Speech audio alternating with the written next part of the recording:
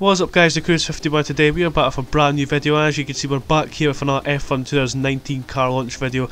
Today we're going to be talking about the F1 W10 EQ Power Mercedes. This is a brand new F1 2019 Mercedes-Benz car. As you can see there's been teasers for a while on what the car could look like. We think it could be a camouflaged livery. The answer to that question is no, we don't have a camouflage livery. So after all that hype with the, the new turquoise livery everyone's thinking about, that's not happened. The car um, just stayed with the same livery as it has done in the last few years. There's only a few different parts of the car I see which is different as well. You can see we've got the front wing there which has got a different turquoise colour it with black at the outline.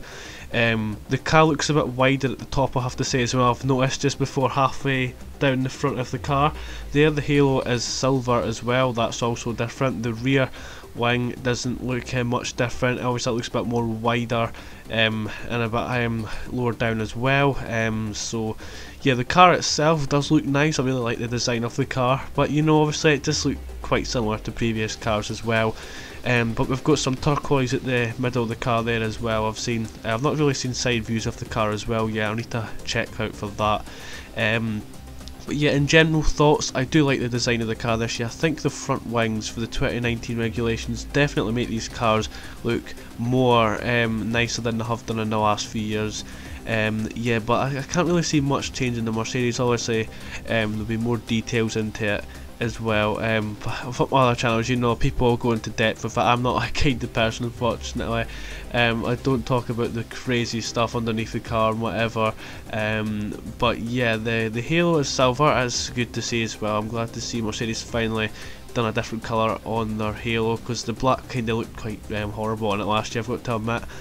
Um, but yeah, general looks of the car, definitely a really good looking car. Um, and yeah, I'd say definitely, I'd rate it maybe like a seven, maybe a seven out of ten, maybe six. I'd say, obviously, because it, it, looks more whiter as well. This silver I've noticed as well. Um, so I'm looking to see what it's like from the side views as well. Um, I've not really seen that yet, but I will.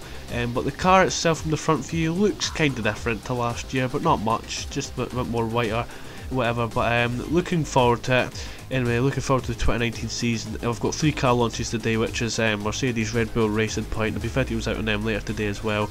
Um, I never done videos on the Williams and Toro Rosso and Renault as well because I was kind of busy at the time. So unfortunately, I can't go through them all. I might do a video at the end for the car launches, talking about every single car, going into detail with them. Um, also, if you're new to the channel, guys, um, subscribe as well for content like this. Like the video as well, share it um, to tell everyone we've got the new Mercedes car out um, early in the morning here at 10am UK time. Um, but yeah, the Racing Point car is out at 3pm, guys, UK time if you're interested. Um, don't know when the Red Bull is going to be out, um, but yeah, if you're interested as well, I'm going to be doing mod showcases on these cars as well when they come out on the race department website. So if you're interested in that, make sure to subs um, subscribe to the channel because they're coming out very soon. But until the next car launch, guys, I will see you next time.